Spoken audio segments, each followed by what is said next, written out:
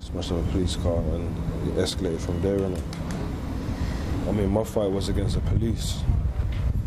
Do you understand? Like, it wasn't, it wasn't me weren't coming out to loot shops or, you get me? Because after these shops on Tottenham High Road, you get me, are people that we live with every day. You understand? That we talk to, engage with every day. Do you understand? So it wasn't like we planned to do what happened. And the other people, them that kind of took Mark's situation as an excuse to run up in shops and steal trainers and stuff, yeah, it pissed me off. It was very much disappointing.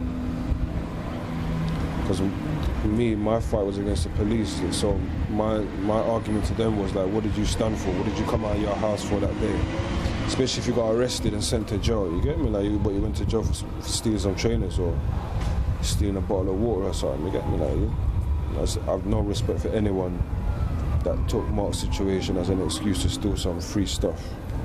I mean, the only thing I regret is the innocent people that was affected by the riots, i.e., people's homes, businesses, their get me lives. I'm not waiting for the riots to happen again. You understand? Like, I'm trying to make some sort of change. You get me to break that cycle.